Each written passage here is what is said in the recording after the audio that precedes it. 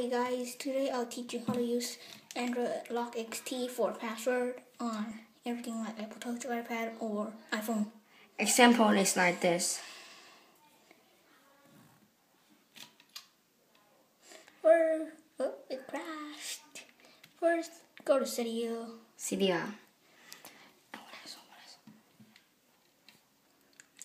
Because I think Cydia was a little bit snowed down. So what we need to do is put add and Edit, edit add add, and uh, cd uh, dot. Heaveniphone.com. cydia dot head fin iphone dot com. And remember it's slash. because we have it so we don't need it when you finish you will see in here this one with the Apple one. Just press it. it's, it's like this When you have a favorite iPhone.com, go to search, search.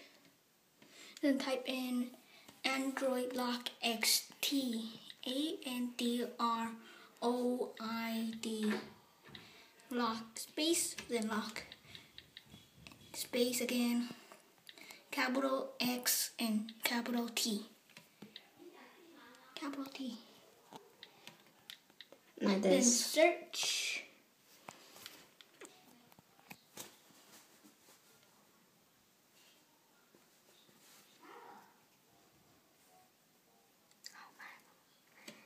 And you can see mm, there is NLXT.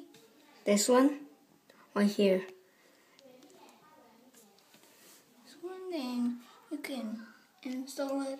Well, we already installed it. When you finish install, just go to setting. go here setting Then go to then find Android XT. Android XT going to change and and change pattern like this when you finish just go home and lock like this and you and you just you finish slide it slowly. Then here it goes, guys. thank you Thank you for watching our video. Peace out.